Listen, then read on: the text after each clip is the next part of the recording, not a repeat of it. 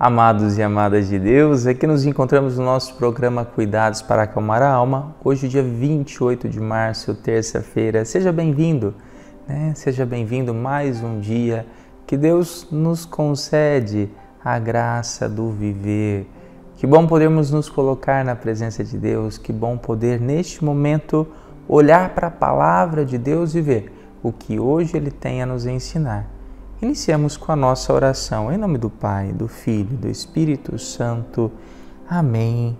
Divino Espírito Santo, iluminai-nos e dai-nos sabedoria e entendimento para compreendermos tudo aquilo que Deus tem a nos ensinar no dia de hoje. O Evangelho é de São João, capítulo 8, versículos de 21 a 30.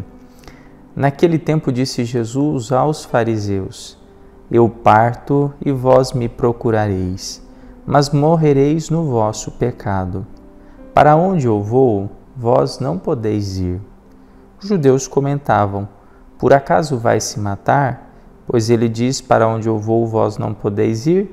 Jesus continuou: Vós sois daqui de baixo, eu sou do alto. Vós sois deste mundo, eu não sou deste mundo. Disse-vos que morrereis nos vossos pecados, porque se não acreditais que eu sou, morrereis nos vossos pecados. Perguntaram-lhe, pois, quem és tu então? Jesus respondeu: O que vos digo desde o começo? Tenho muitas coisas a dizer a vosso respeito e a julgar também. Mas aquele que me enviou é fidedigno, e o que ouvi da parte dele é o que falo para o mundo. Eles não compreenderam que lhes estava falando do Pai. Por isso Jesus continuou: quando tiverdes elevado o Filho do Homem, então sabereis que eu sou e que nada faço por mim mesmo, mas apenas falo aquilo que o Pai me ensinou. Aquele que me enviou está comigo, e não me deixou, ele não me deixou sozinho, porque sempre faço o que é de seu agrado. Enquanto Jesus assim falava, muitos acreditaram nele.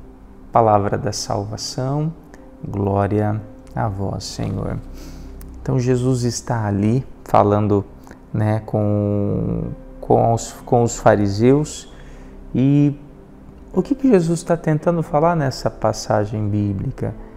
Jesus está tentando mostrar, ó, eu sou o Messias, eu sou o Salvador. Quando partir deste mundo, aí vocês talvez vão enxergar isso. Só que aí vocês não vão ter a salvação porque vocês não tiveram fé. Jesus está batendo exatamente nessa tecla conosco. A, a resistência de conseguirmos ali aceitar Jesus como, como Salvador.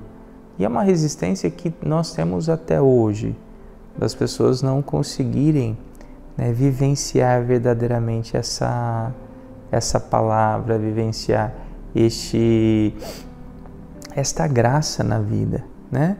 E, e, é tão interessante porque Jesus vai falar: olha, quando eu partir, vocês vão conseguir ver que é verdade.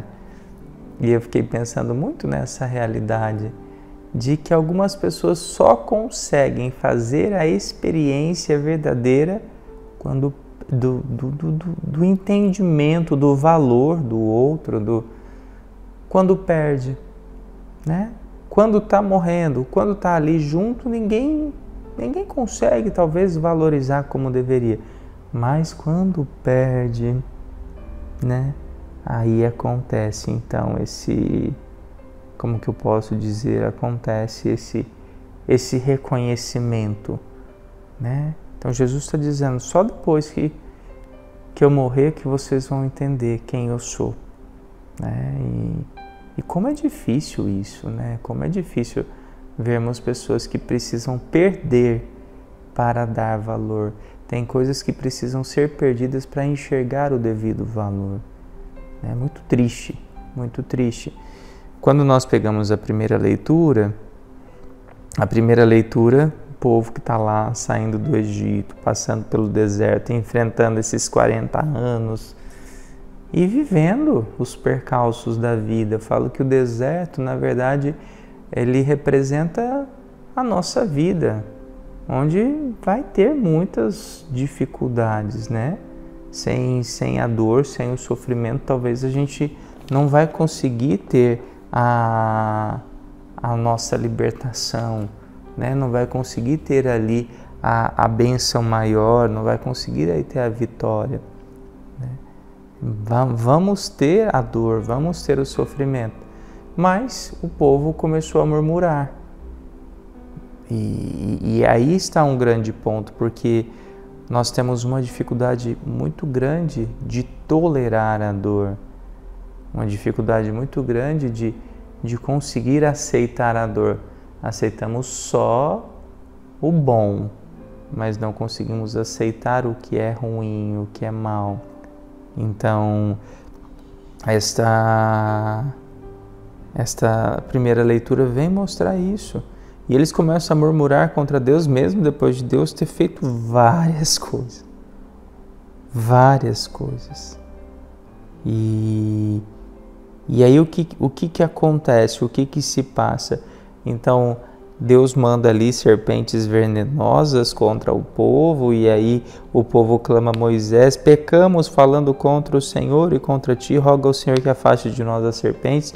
Moisés roga pelo povo, e aí então é, pronto, as serpentes é, faz a, a, coloca a serpente numa haste e e pronto, toda pessoa que era mordida por uma serpente olhava para a serpente de bronze e ficava curado. Mas falaram contra Deus, brigaram com Deus e, e depois eles né, se voltaram para Deus novamente mostrando que a nossa vida é assim.